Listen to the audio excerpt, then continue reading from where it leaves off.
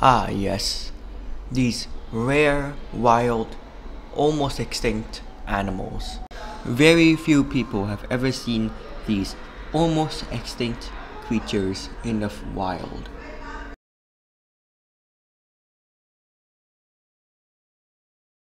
Take a look, like, there's a Diplodocus!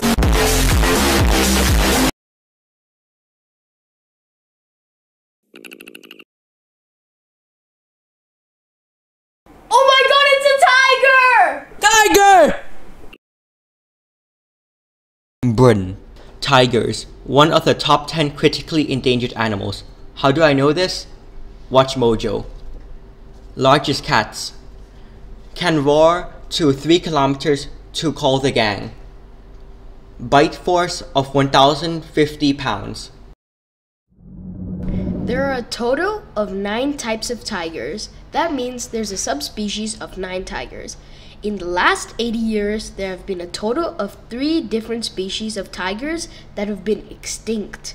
Ti- tigers have a Greek name of Pantherus tigris. And another fun fact is cubs only open their eyes after 14 days after their birth. So you might be wondering, why do we need tigers? We need tigers we need tigers in our ecosystem because we need to keep the population of animals on check. This will allow for no overpopulation. For example, we have a rabbit. Um, that rabbit will multiply and multiply and multiply until it's overpopulated. But if we bring a tiger in, it can kill some rabbits and therefore making a balance in the population. This will mean that the forest will be balanced and it will be good for the all animals. So, what are the problems? So, tigers are unfortunately facing a loss of habitat and also severe hunting cases. People like to make tiger skin materials and clothing.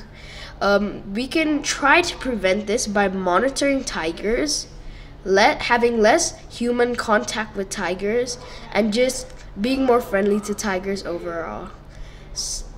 This will conclude our research. Thank you. Okay, this is the part when I explain thoroughly why and how to stop tigers' extinction. So, tigers are poached ever since the olden times to show power and bravery. Nowadays, we poach tigers illegally to sell in the black market to get money. Another Another one. Another one. Another one. cause of why tigers are getting extinct is deforestation. Male tigers have a territory of 60 to 100 kilometers squared. If there is not as much forest,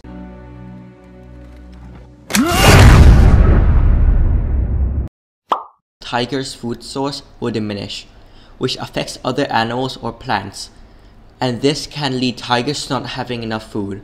It's like having everything in your fridge slowly taken away by a sibling. Think of this as a domino effect. Tigers get their food from deers. Deers get their food from plants. Plants need to scatter their seeds via deers.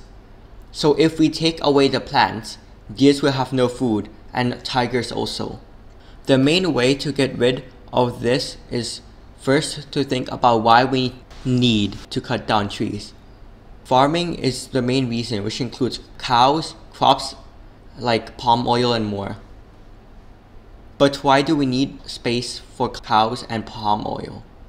Most food products these days have their main ingredients as palm oil, as it is cheap and easy to harvest. Cows need a lot of water and living space to get real thick, then killed for your burgers. Why do we need food products and beef for burgers? Because we want it and it's convenient. Then how do we fix this? Well, we can find alternatives oils instead of palm oil.